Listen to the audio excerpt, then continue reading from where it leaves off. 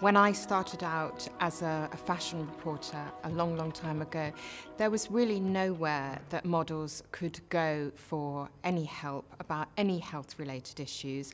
And people just didn't really talk about it. Really skinny models, I think we got to the point where we didn't even really notice them, I'm very ashamed to say.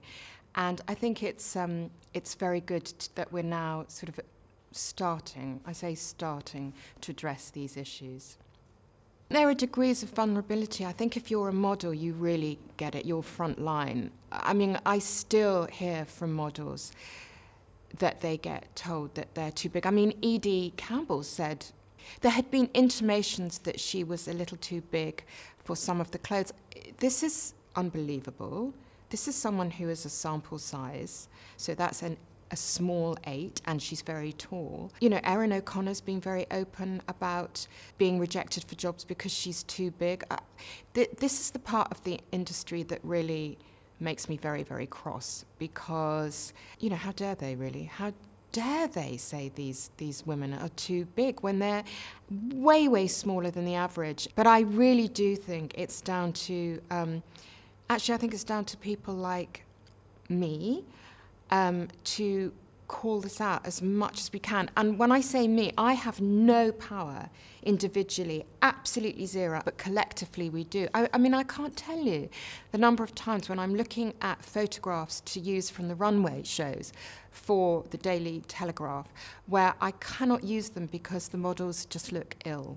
And it's not just that the readers get furious. I don't want to promote those images. It doesn't look nice it would be fantastic to get as many, to get all designers on board with, uh, with Be Well Collective. I mean, I think that's a very um, no-brainer active mood for them to do. And to show responsibility, and, and do you know what? I think that is a big change in fashion because I think in the past, designers would have argued that they have no responsibility other than to just make fashion brands are falling over themselves now to show their eco and sustainable um, credentials. So th this is the next this is the next thing. At the shows, I think people get really lonely and isolated at the shows, and that I can tell you goes for the fashion editors just as much as it might go for uh, a new 17-year-old model. My advice would I'm not. Ugh, that suggests I've got it sorted.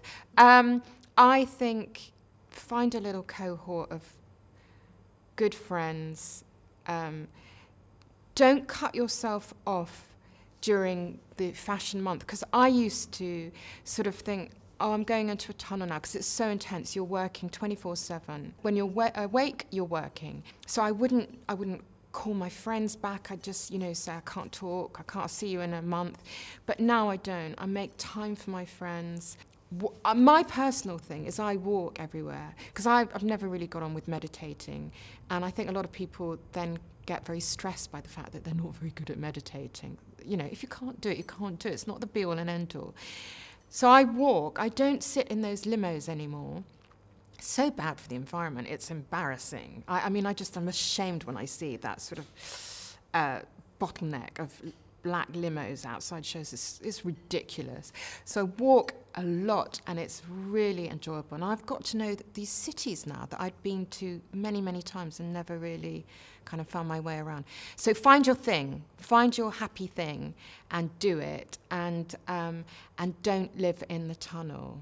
What you're doing at the Be Well Collective is just amazing. It's the kind of support that I would want if I was starting out in the industry. I mean, not even as a model. I think for you know for anybody, it's just so nice to be able to talk in a non-competitive atmosphere because that's the other thing. It is the freaking coliseum at those shows. Whether you're on the runway, or you're writing copy, or you're shooting pictures, or you're some um, influencer you know, it's just, it is horribly competitive. Try not to compare yourself with other people. Do your best. And you know what your best is.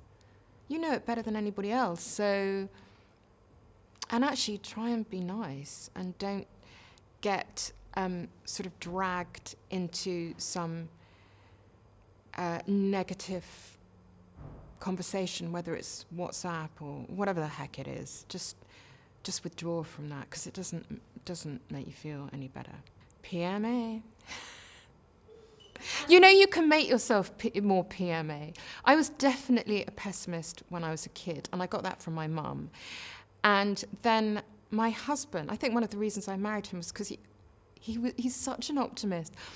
And early on in our relationship, I used to say to him, okay, so you put the positive spin on this one for me, and then I'd regurgitate whatever woe had befallen. And he would always put a positive spin on it, and I've learnt to do the same. And I think often pessimists think, I'm going to short circuit the disappointment and just tell myself it's all terrible now. But it's ridiculous because the dis- it, it might all come out right. I mean, there's a 50 50 chance, right? So why not just enjoy some positivity until you absolutely don't have to? And usually, when it, when it does hit the fan, it's, it's not usually as bad as you think it's going to be. So I think you can really cultivate um, optimism. I really do. Be Well Collective is a not for profit organisation. So all donations um, of any magnitude are really welcome. And also, they go direct into the organisation. So it's very well worth donating. If you can't donate, then just share, share the spread the word on social media because it really is providing a very useful service to this industry that we all love and enjoy, but also know has got a few issues that could be improved.